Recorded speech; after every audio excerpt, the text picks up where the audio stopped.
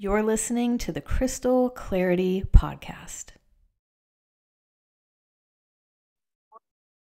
So, welcome to today's episode, which is all about stones being alive. And if you're somebody who has felt the presence of a stone and thought, I feel like this giant boulder is alive, or I feel like this incredible crystal feels alive, I feel like I'm in the presence of something Today's episode is about why you might feel that way according to the evolutionary process that the stones are in. And I think that it'll help you kind of wrap your arms around the truth that stones are living, evolving, conscious beings with extra dimensional origins. I was walking in the woods this past weekend in Pisgah Forest in North Carolina, and there's these giant, giant boulders protruding onto the trail with with water trickling down them and that incredible smell of fresh air. And these boulders were so they just kept coming. We just kept walking. These massive boulders are sticking out. You know, it's like looking at the the side of a mountain. It's like being right next to a mountain. And I'm thinking how incredible it is that the whole body of the earth is rock it's rock and water you know we have tons of rock in this world and where did it come from? And you know what's its story? What is it doing here and why? Do i feel like i'm in the presence of something alive when i walk past this? Why do i feel like i kind of want to bow at this stone? And even the people that i was with um, who aren't particularly into stones or anything they were like wow you know they could feel something powerful coming out of these stones. And and I I did I get this feeling like I want to say hello I want to touch it like there's something alive.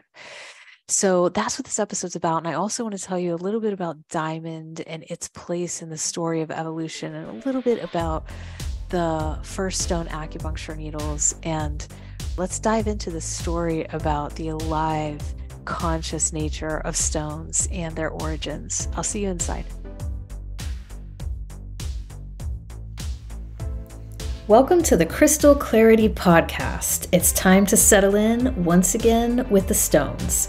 Together, we'll illuminate stones in healing and spiritual alchemy and then go beyond, exploring land healing, earth grids, sacred sites, and all rocks in the wild.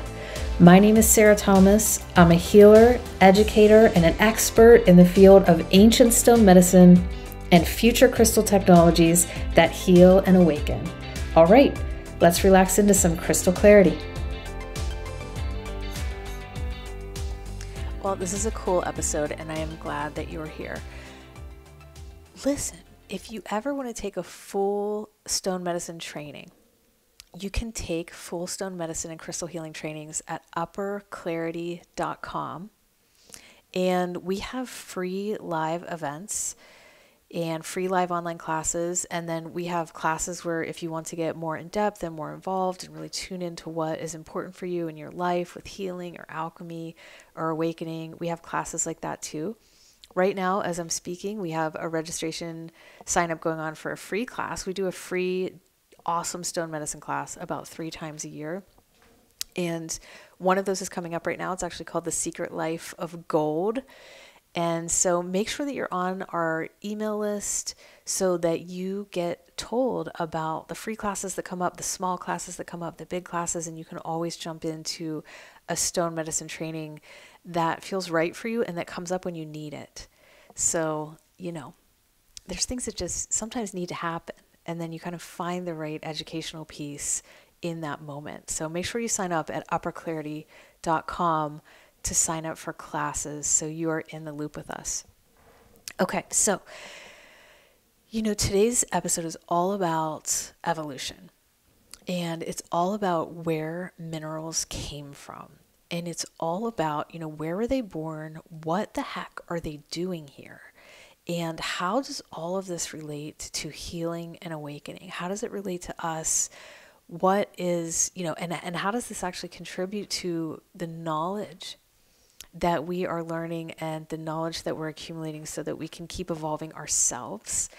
And the, the beautiful thing about this episode is that you're going to just see, wow, this is how minerals and stones evolved. So, you know, the first thing that I'm going to say is that acupuncture needles, the first acupuncture needles were not stainless steel needles made in an acupuncture needle factory, right? They didn't have those. They used little pieces of obsidian, little pieces of flint, little pieces of tourmaline. Tourmaline was a stone that could really provoke electricity and had a good connection to electricity, so they said let's use that. We used opal. There was stones in the past that were used for acupuncture needles, and it wasn't just because they were little sharp, hard things that weren't going to disintegrate or dry out or bend like an herb or a plant might. There was another reason. It was because ancient Taoists saw stones as alive. They saw them as alive, evolving, conscious beings just like us. They saw them as alive, conscious, evolving beings just like us. Now, how we see the world depends on our level of consciousness. And the higher of level of consciousness that we're living in, kind of the more lucid we are and the greater perspective that we have. Consciousness is a funny thing. It's it's almost impossible to explain. But those are some ways of looking at it. And these ancient masters had a high level of consciousness. Um, so did people in ancient Egypt and ancient Tibet. And if you look at these old records of where people are, ancient Peru, ancient North America, they also saw stones as living things. The ancient North American people, the indigenous people call stones, you know, the the the stone people, right? And ancient Egyptian practices had all kind of work that they were doing with stone and granite and looking at different principles in stones that made them alive. And so seeing stones as alive, conscious, living things is something that goes back to highly evolved wisdom traditions really on this earth. So it's not so much just kind of a story that they were making up. But I want to talk about stones as living beings, as acupuncture needles. The reason that they did that, like let's provoke chi on the body and and and really help people kind of awaken and shift not just their physical health but their consciousness with stones is because these stones were seen as evolving. They were evolving living things. And they said, you know, if these are evolving living things, we should work with these evolving living things that go through these long, deep cycles of time to live and evolve. And so it's like stones almost had a higher, greater consciousness to them. You know, if they could see into their world and gain their perspective, because stones lived on these incredibly long, deep time, deep space cycles of time. So that's a greater perspective, right? A greater perspective is usually connected to higher consciousness. And they said if this thing is living and evolving of this great spaces and cycles of time, there's this incredible evolutionary processes that are that are so much like grander than our own. They would resonate to helping us to evolve and transform and gain higher consciousness. They would resonate to us evolving and transforming and gaining higher consciousness. So that is one reason why they actually use stones as acupuncture needles. It wasn't just because they were little and sharp. So the relationship between stones and humanity in this kind of like symbiotic process of awakening together goes back a long, long way. I think about evolution as being defined by a couple of different terms. You know, what is evolution? Evolution is essentially, we could essentially say that evolution is, is to get born. So you have to get born, you have to come about. It's something that gets birthed or born. It has an origin story, it comes about, like there's a moment of birth. It then goes along this process of transforming and changing and incorporating information around it, incorporating relationship with other living things around it. So it goes through these processes of transformation. And often in evolution, we gain more complexity as we evolve. If you look at animals and bugs and all these things, we actually gain more complexity as we evolve. So we're able to do more things, we're able to understand more things, we're able to have more in- ongoing internal processes, we're able to um, gain different kind of sets of beings. Sorry for the coughing. And transform. So it's like the transformation also is like a proliferation or a blooming. And then another aspect of evolution is that something may die. Like there's a possibility for this thing to die, and it comes to the end of the cycle. So evolution is essentially a cycle. So it has to come to the end of the cycle and die. And another interesting way to characterize evolution is to think about that something can also come back. And, uh, you know, it that's a process too. It can die and then it can actually come back. So, you know, it wasn't just dinosaurs that got extinct, right? It's just what we think of when we think of extinction. We think of dinosaurs or we think of, um, you know, animal species getting extinct, going away. Uh, we've seen animal species come back actually, and there are some really promising things happening where we're actually starting to be able to kind of go back in time and bring back things that have been extinct. And certain processes are able to bring back things that are extinct by kind of working with different timelines.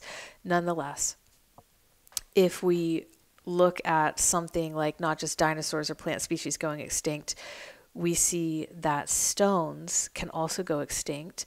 One example of that is on Venus. There is this great greenhouse gas effect going on, and that probably caused a mass extinction of minerals on Venus when that happened because the conditions were not right for so many minerals to live under these incredible greenhouse gas effects going on in the atmosphere.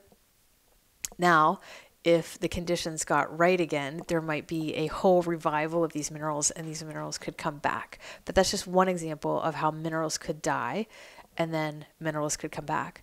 Minerals, if we look at this whole definition of evolution, minerals also get born. We're going to talk about that today. They go through all these transformational stages and processes. Um, they transform, they relate to their environment, they evolve, right? They change, they become more complex, and then they sometimes die. They end their life cycle. Um, these cycles are very long cycles of life for a mineral, but they kind of check all these boxes of evolution. So if you're comfortable kind of being like, okay, yeah, minerals evolve, and I think by the end of the episode you'll you'll get there even more because we're going to talk about it a little bit more. I want to let you know that for me, evolution and consciousness are directly correlated. So, what evolves has consciousness, and what has consciousness evolves. They're very connected. And consciousness is really anything that's kind of spiraling towards, in the cyclical state of how everything works in these cycles, it's spiraling towards these greater and greater, greater and greater stages of life, awakening, until it kind of realizes all of who it is it's this process of realizing who we are until we realize all of who we are. Consciousness is always evolving. Consciousness, the definition of consciousness is that it's becoming, right? It's always becoming. It's moving in that spiral all the time, up and up and up. So consciousness is evolving, and anything that evolves has consciousness. So this is my postulation. So the ancient people were saying stones are living and alive, and I'm talking about evolution and consciousness being highly linked now. So stones may be these living, breathing, conscious, alive beings that are going through their own process of evolution. And that's actually exactly what I think that they are. I think they don't speak the same exact language as us, and they come from a different situation. They come from a different life experience. And so much of what we do all the time is just like, how do we link those two life experiences and understand them? And they continue to understand us. But I think that stones are living, evolved, conscious beings based in these principles. Can I take you back? I just want to take you back a minute to where stones actually came from and minerals actually came from. Back in the early stages of the universe, there were just gases. There was just hydrogen, helium, and lithium floating around in these super hot gaseous stages. As things started to cool off, there was some coalescing that happened. And that coalescing made stars possible. So when stars became possible through cooling and coalescing, then some heavier elements were created like nitrogen, carbon, silicone got created at that time.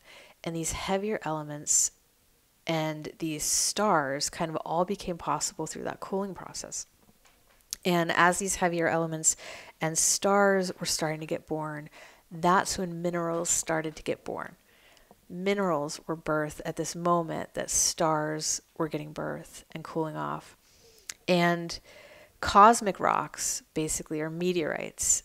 When they come to Earth, we've been able to read inside the meteorite how this happened, how these elements were formed. So they're right, the record keepers. Stones are always the record keepers. They always have the story, they always have the ancient text, and meteorites are the ones that come and tell us what happened in the ancient universe, pre solar system, pre Earth.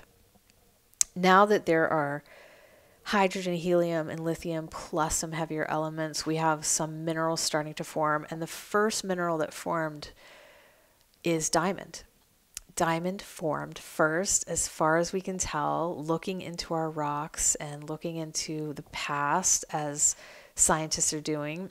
Diamond was able to take on this carbon, right? Was able to take on this little crystal structure and have this chemical composition. So you need a crystal structure and a chemical composition to have a mineral. So diamonds are the original mineral. If anybody asks you for some knowledge sometimes. Say, did you know diamonds are the original mineral? They are actually predate the solar system. They're the first mineral that was likely ever formed. So then what started to form is some rutile, some titanium based minerals. So these are all the ancient grandmas. I mean, diamond is the ancient, ancient grandfather mineral, right?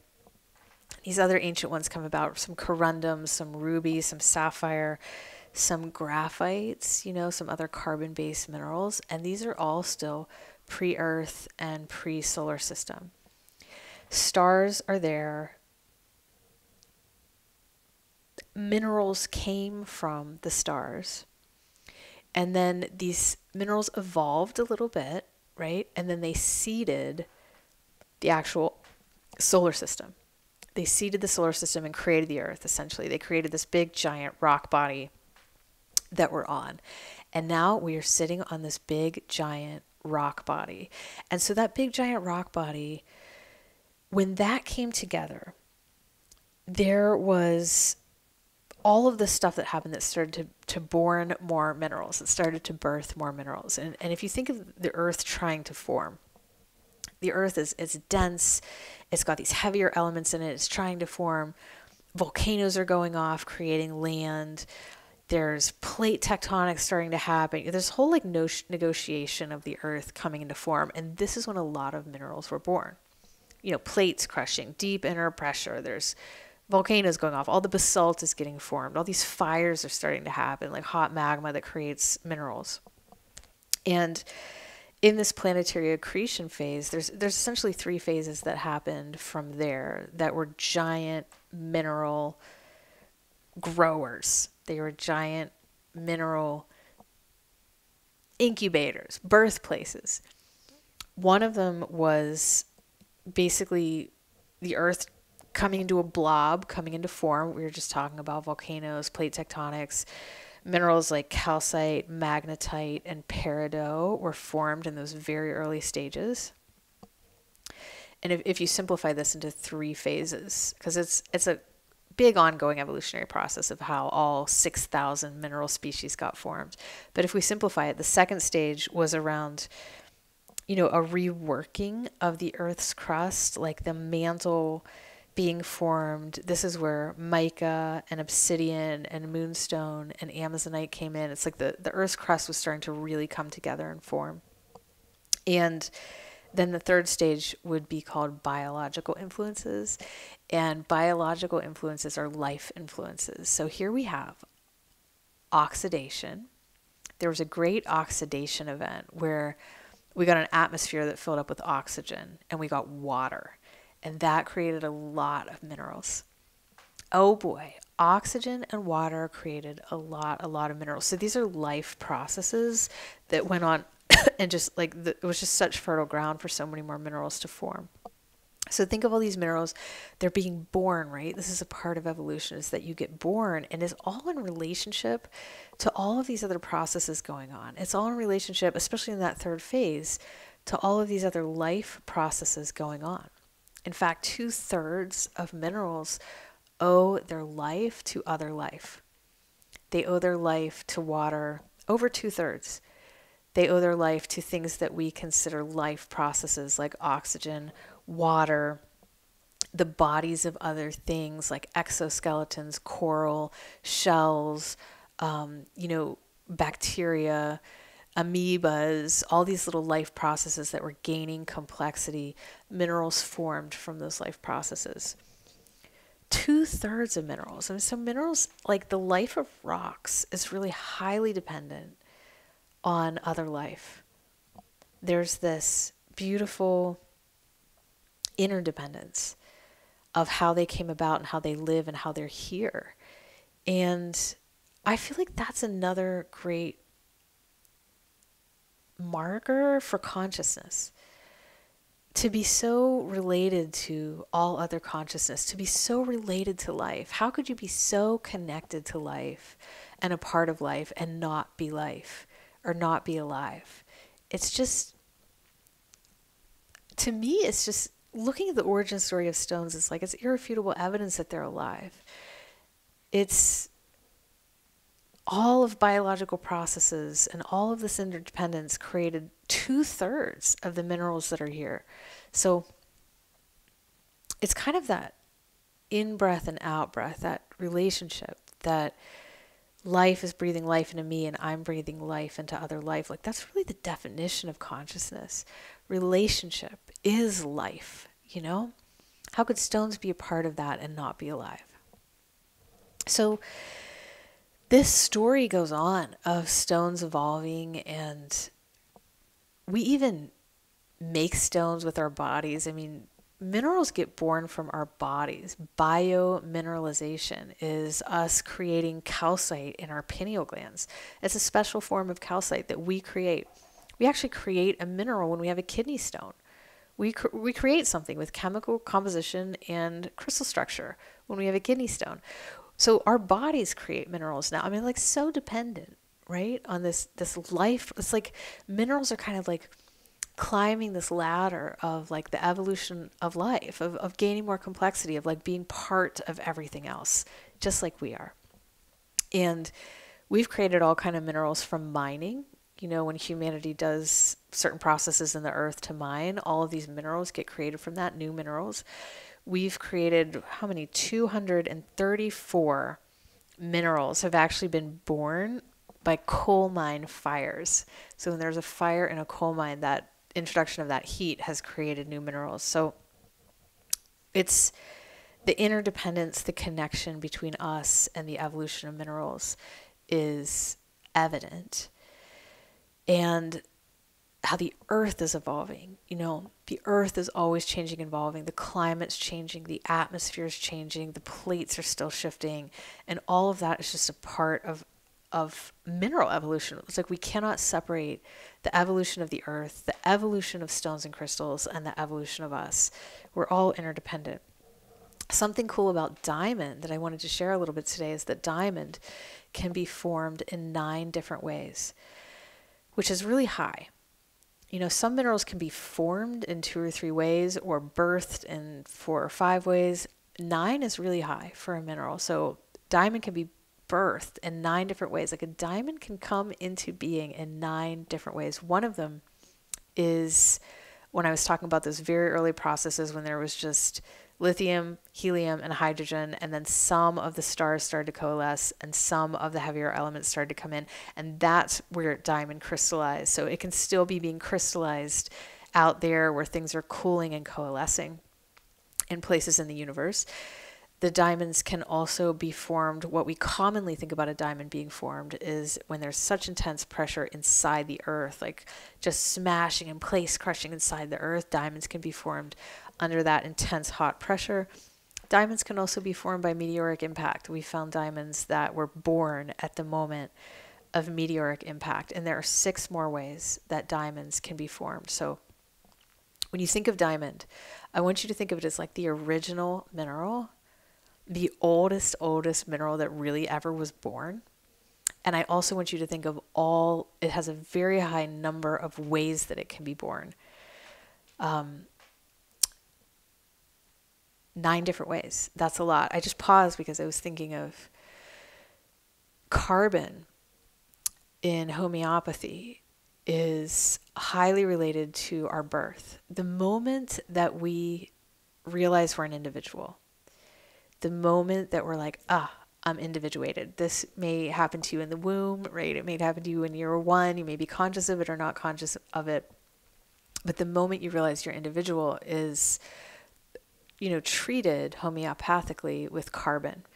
And so that just struck me right now. I was talking, I was like, you know, all of these birth stories of Diamond, nine different birth stories. Um, and the fact that it's kind of like the first mineral ever born.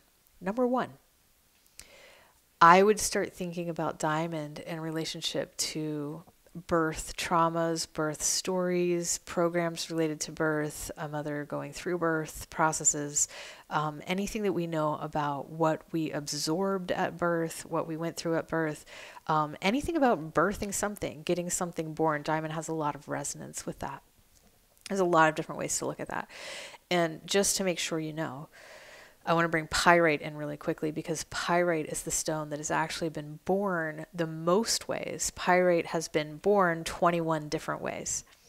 So that blows the other ones kind of out of the water. Pyrite can be formed, born, birthed in 21 different ways. So it's not the oldest mineral like diamond, but it has great versatility in how it can be born. It has great versatility in how it can come into form or pyrite's a really incredible stone for healers and awakeners, and hopefully we'll talk more about it soon. So, stones, my friends, are extraterrestrials. They have extraterrestrial origins and they have extraterrestrial ancestors. You know, their ancestors are those very first minerals diamond, sapphire, rutile, which is like titanium stones, and then moving into slowly into silica and graphite stones. These are their ancestors, and they were all happening pre Earth. They seeded the solar system. You know, that's what allowed rock bodies to form. It's all the rocks that we're standing on. This Earth is like 99% rocks, you know? Well, it's a lot of water too. There's a, lot of water on Earth, and there's a lot of rocks on Earth. And then the plant kingdom and the tree kingdom is almost just like a fine little layer of like hairs, like the little hairs that you can feel on your face. Um, so we live on this rock, and it's cool to understand like where did these come from, and it, it's even more important, I think, to to get a sense of not just that they're extraterrestrials and they come from other worlds and they predate Earth, but that they're alive, that they're going through these alchemical processes. They're born, they change, they transform, they incorporate information, they relate to the rest of us, they relate to other living things. And then they can die. They can come to the end of their life cycle, and they're all in this great cyclical nature of evolution with us. And I think that's why, you know, when we're in the presence of a big stone or we're in the presence of a really just I'm holding up a stone for those of you that are listening. If we're in the presence of just something that we feel the frequency and we feel the potency and we're feeling like this feels alive. This feels like I'm in the presence of something that's really a living thing. I think that's true. I think that the origin stories of minerals point to it. I think that evolution in consciousness points to it. And I think that oneness points to it, that we're all here on the same earth. We're all here. Um, you know, coming from these star origins, we're all changing, we're all going through this great cycle together, and we're interdependent. It's like we're all part of this great, incredible symphony that is perfect, and absolutely the stones are a part of that. And absolutely, then, they would assist us in our own healing and awakening and evolution. So, thank you so much for coming today, and I am excited that we got to talk about the living, conscious, extraterrestrial ori- origins of our beautiful stone people. See you next time. Thank you so much for joining me today. If you like today's episode, please like or subscribe. Oh, and leave me a comment. I'd love to know what you'd like to learn more about. To take the perfect stone medicine or crystal healing training for you, or to visit me at our super special crystal shop, go to upperclarity.com.